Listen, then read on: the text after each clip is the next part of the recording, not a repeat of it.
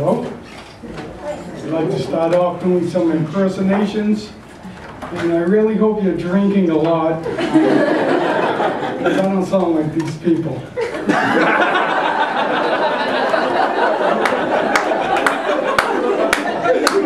Remember?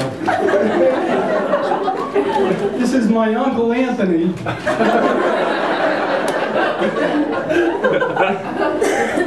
On the game show Jeopardy. Fuck. Oh, I'm sorry, Alex, what the fuck?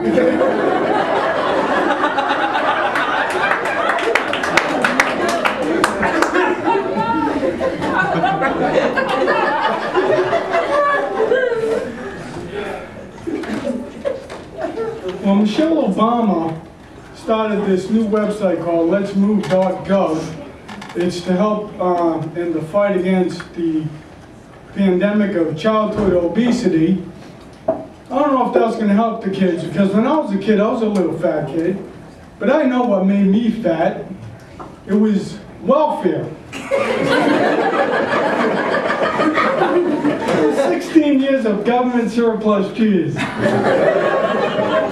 wasn't really fat, I was just binding.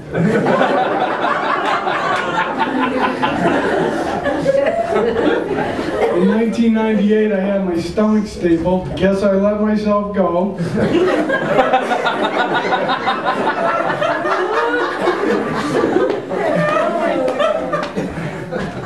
But I don't like telling that to everybody anymore because when people find out you lost a lot of weight, they ask stupid questions like, do you feel better?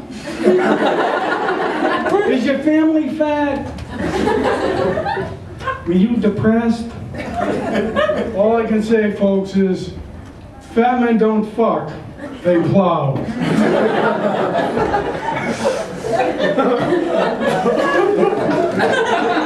She's been plowed.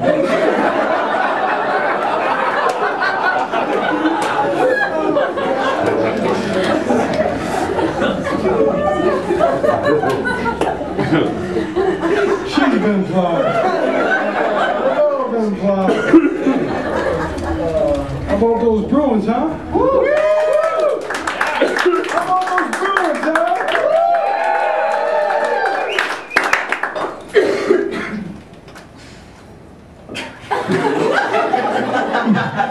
Sorry, it's time to meditate. I get angry every now and then because I lost all this weight and I still have a small penis. Wait for the punchline. However, I got proactive. Some people would say, oh, acceptance is the answer to all your problems today. I got proactive. I thought about my childhood as a little kid. I was overweight. I thought I was eating a lot of junk food, so I thought maybe I just need to feed it a lot of junk food. And um, I just happened to bring some Twinkies. Whoa. What you do is you take one undersized penis and you take one or two Twinkies and um, go around there.